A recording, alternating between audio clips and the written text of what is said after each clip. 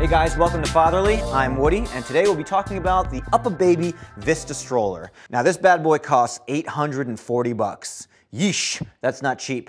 But this is what you get. You get the main frame, you get the bassinet, and you get the separate seat, which is interchangeable with the bassinet. So the bassinet has uh, a canopy here, which is adjustable, and also features a nice little space age UV protection for your kid. Very nice touch. It also has open flap in the back here, so you can get a nice cross breeze. Also, you can open it up here. And uh, the material on the inside, uh, very soft, very nice, completely machine washable. How about that? And we will now check out the seat. This is the seat.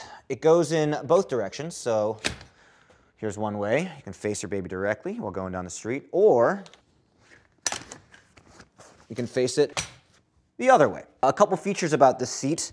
Uh, number one, the canopy comes out like so, and uh, has the same UV space age material as the bassinet. Also, you have the nice little sunroof here, which comes up, uh, nicely designed with the magnets, not Velcro, so there's no sound.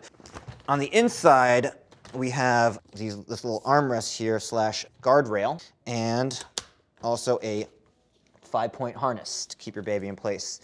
The footrest down here is completely adjustable, goes down or comes back up. And here we go on the back. From the back, you can control uh, the recline of the seat. So here we go all the way down, all the way back up.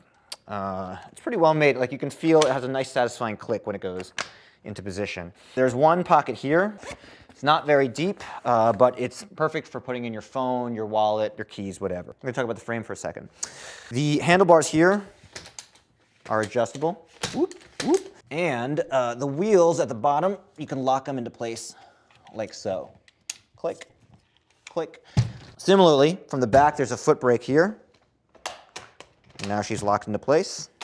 Now she's open again. And at the very bottom, you have a nice uh, open carriage space uh, with two little pockets here to put in uh, food, diapers, whatever you need on the go. Of course, we got to talk about the ease of transportation with this. Uh, this collapses down very neatly. You have uh, two triggers here, which you pull like so, and then down she goes. And then you lock them into place with this little gray strap here. And now it's locked.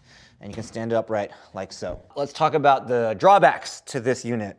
Uh, the main one is the size. It's like 27 pounds. You can see that it's a little wider than your average stroller, uh, which is gonna be kind of annoying getting in and out of doors and going down the sidewalk and so forth.